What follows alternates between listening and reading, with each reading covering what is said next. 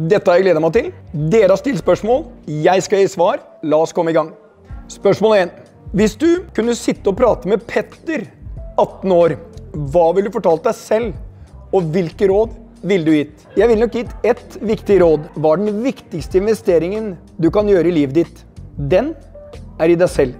Jeg tror de aller fleste av oss har sjanse til, hvis man jobber med seg selv, å forbedre de evnene man har, og forbedre og øke sitt potensial med minst 50% Det andre jeg ville sagt, var Petter, ikke forsøk å gjøre alt helt perfekt. 80% er bra nok. Når du har en idé, den er ikke perfekt. Sett i gang, realiser. Tillat deg sjøl å feile. Korriger.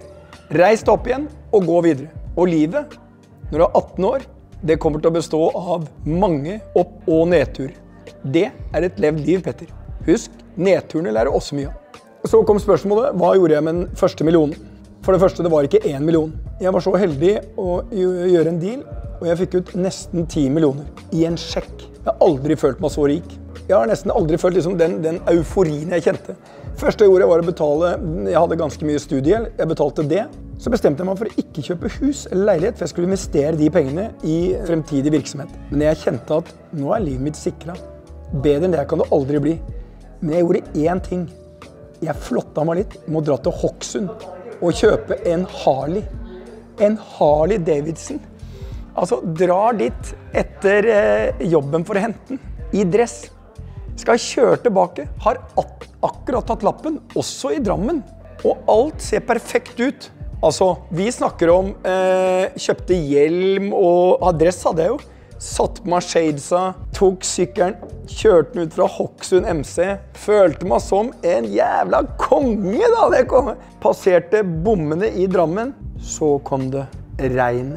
Altså ikke bare litt regn. Himmelen åpna seg med et skybrudd. Det tok altså sekunder før jeg var klissvåt, kald.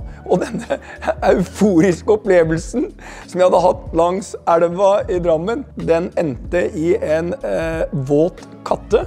Jeg vet ikke om det var eh, det høyere makter som sa til meg Petter, eh, det å kjøpe motorsykkel eller bil, det er ingen god investering. Det får du vente med.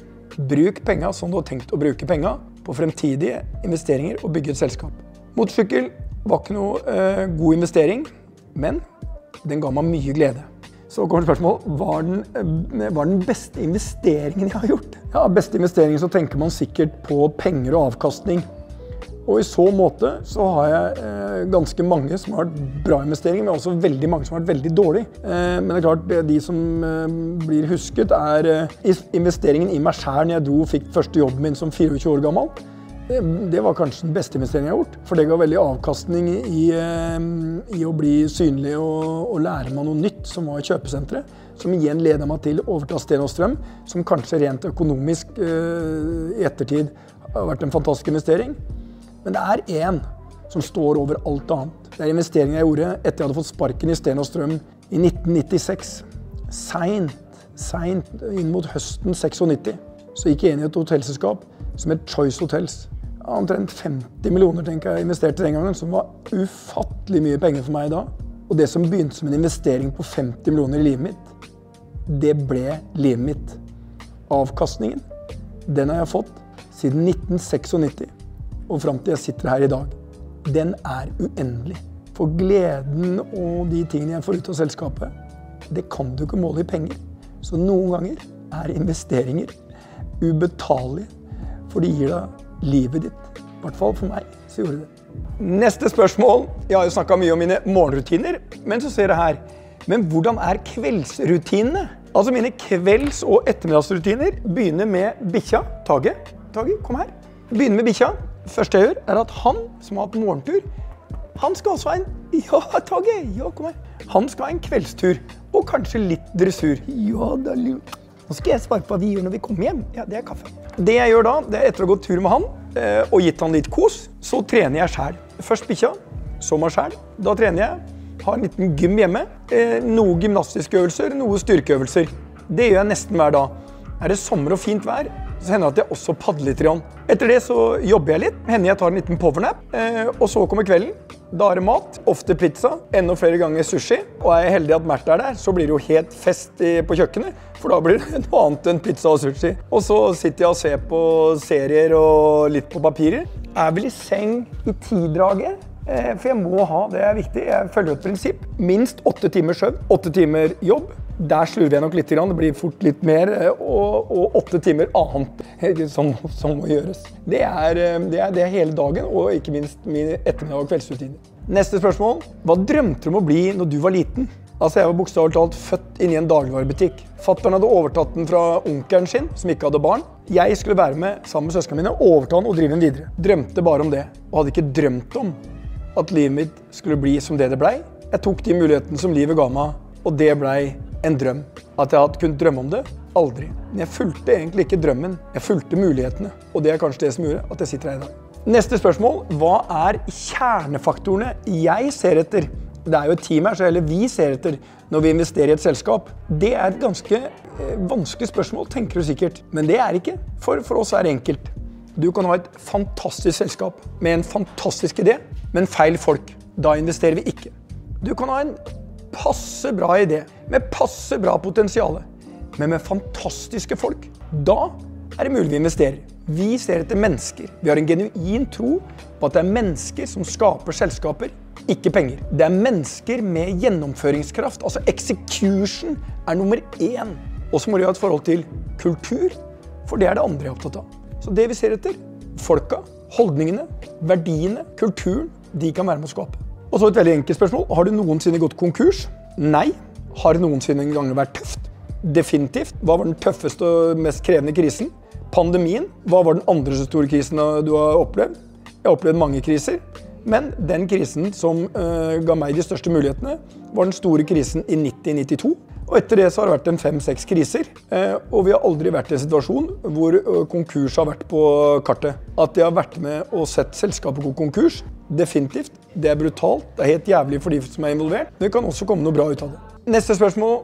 Hva tenker du om å gjøre feil?